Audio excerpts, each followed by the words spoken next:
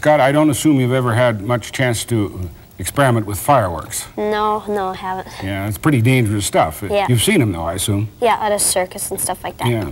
Well, today you and I are going to investigate some of the aspects of fireworks, and we have to be very careful. I have a fire extinguisher in the back standing by, Okay. made very small amounts of each material. And the first thing we're going to do is just burn some of the chemicals. You know what canned heat is? Uh, stuff like oil and stuff like that. Well, it's actually a material that's sort of solid alcohol that they put in the bottom of chafing dishes. Oh. Uh, you know, and you see it, the little flames underneath, that keeps food hot. Well, I have some in each one of those little holes in the cupcake liner. And then I added various chemicals. So now I will light the first one. That's just, this one right here is just plain canned heat. And you'll see the kind of flame we get from that. Now we can see them better if I turn out the lights. You put on your safety Okay. glasses. Good idea. Oh, it's just kind of blue and Yeah, sort of a slight of bluish effect. on the top. Yeah. Okay, now I'll light the one next to it, and you'll see what effect a chemical can have. Oh, it's green. Yes, Neat. that's the that's pretty color. So if you're going to make fireworks, you put some of that chemical in there to get that color. Okay, here comes that one. Oh, it's kind of a bluish green to yeah, it. weak bluish green. Yeah. Okay, That one's just kind of yellow. yellow. Right. Yeah.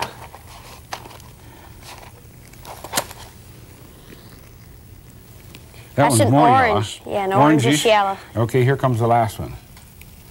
Oh, it's red, Yeah, kind it's of. nice and red. That's So you see, the fireworks manufacturers can put the various chemicals together to get the sort of explosion they want. Then they can put in these various chemicals to get the colors that they want.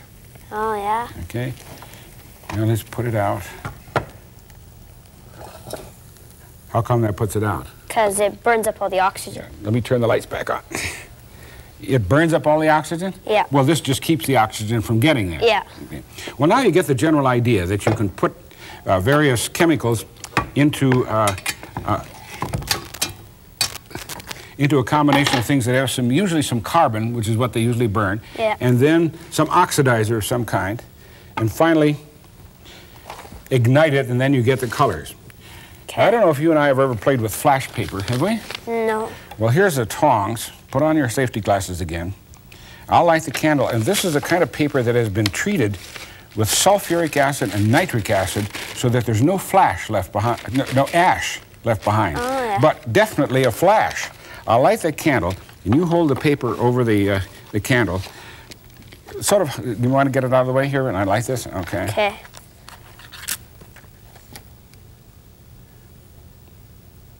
Okay, now bring the paper down slowly over the top of the candle flame. And this is what plain flash paper without any chemicals in it is like. whoa. Nice yellow flame, right? Yeah, that's And Notice it completely disappeared? Yeah. Okay, well now I soaked some of the chemicals that you and I just did put in that dish. I soaked the pieces of pa- flash paper in it.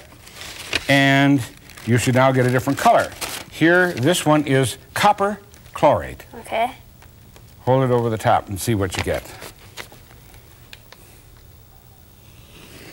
Oh, it's blue. Nice blue Whoa. color, right. You see why I'm careful about all this? Because Yeah. you have lots of fire. Finally, one of my favorites, the strontium. Strontium chloride.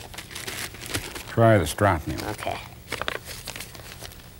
Here it goes.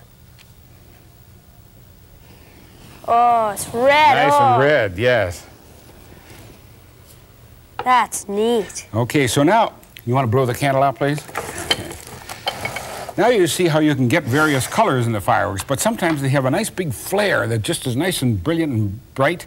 Yeah. Okay, they use a different system for that. In fact, they burn a metal. Here I have some over here. Aluminum. You wouldn't think aluminum would be much of a fire producer, would you? No. But there, but there is powdered aluminum, which I'll put in here like this. Now what we need to do is give it a supply of oxygen. And here's one of my favorite chemicals that has a supply of oxygen in it.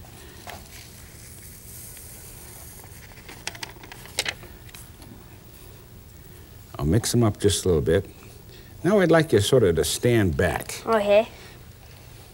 because I'm going to put a drop of water in there, and the drop of water will hopefully set off the chemical reaction, and you'll see what they use this combination for in fireworks. Oh! Oh, neat. You know the big flares that go up? Yeah. They really, you know, make a, sometimes fall down with all kinds of streamers. Yeah. Well, they very often put a combination involving aluminum powder. Now, I would not suggest that you do any of these at home because obviously it's pretty dangerous. And I want to get all of this out of the way because I'll show you some of the fireworks that you and I are going to set off. Good. Oh, those are like big that? ones. Those are big. In fact, here's, here's another one, a cone shape. And I have no neat. idea what they're going to do. This one's called Cave of Pearls. So uh, That's a neat name. that sounds like a good uh, Wizard, Wizard Mine. Mine. Oh, that sounds like a great one. Floral Fountain. So I expect that's going to have some of that stuff in it. Anyway, we'll take we'll fire these later. But I broke part one of them so we could take a look at what's inside. And I would not suggest that you do this either. Because there's what's inside of one. When I started, it was one about like that. Oh, yeah. Then it had a plug like this at the end. And then, see the combinations? That carbon that I told you about? Yeah. Carbon is usually one of the things that's present because that combines easily with oxygen. And obviously there's an oxidizer in there, and then some of the chemicals, and by putting it in the tube in a certain way, they can get it to fire out and flare and so forth.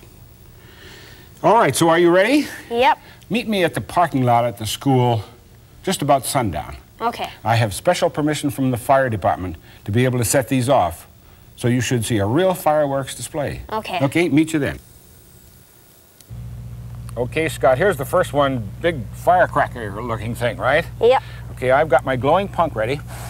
So I want you to go back and stand there by the fire extinguisher. Okay. Safely out of the way. And I'll start it and let's see what happens.